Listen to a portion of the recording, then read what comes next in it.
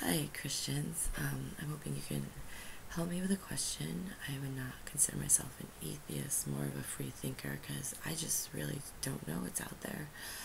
Um, and that's all I know, is that I don't know. I have been raised strict Catholic. I know all the Bible stories.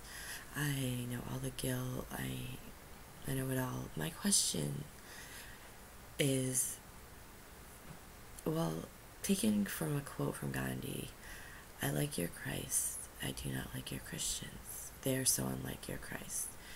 My question to Christians is if I live the good word, if I am a good Samaritan, um, if I follow the golden rule, um, if I'm just basically a good person because I think whether or not Christ was alive or not, he had a great message. am I a Christian if I don't believe, though, he was the Son of God? That's my question. Um, this isn't so much a question as a um, very polite, um, please do it and please.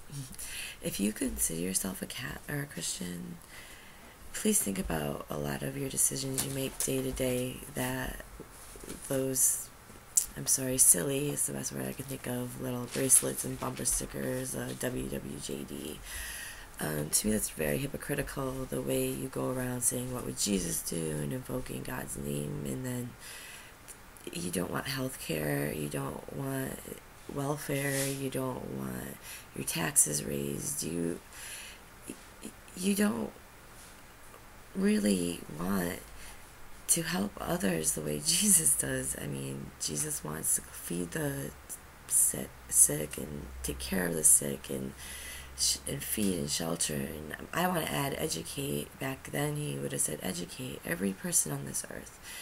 So um, could you please um, you know tonight when you go to bed and whatever religion you are um, if you're Catholic if you're saying your our fathers and Hail Marys um, I'd really like you to look into yourself and say am I living the life that Jesus would be proud of or am I living the life that my minister would be proud of?